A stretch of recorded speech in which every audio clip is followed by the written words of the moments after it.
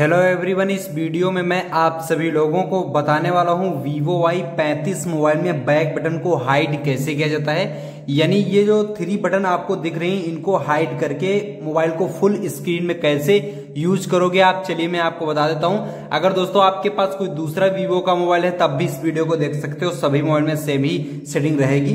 तो मोबाइल की सेटिंग को आपको ओपन कर लेना है। मोबाइल की सेटिंग ओपन होने के बाद आपको स्क्रॉल डाउन करते करते दोस्तों आपको नीचे आ जाना है। यहाँ पर सिस्टम का दोस्तों ऑप्शन दिखाई देगा, इस पर आप क्लिक कर दीजिए। उसके बाद फ़र्स्ट नंबर पे सिस्टम नेविगेशन का दोस्तों ऑप्शन आएगा, इस पर आप क्लिक कर दीजिए।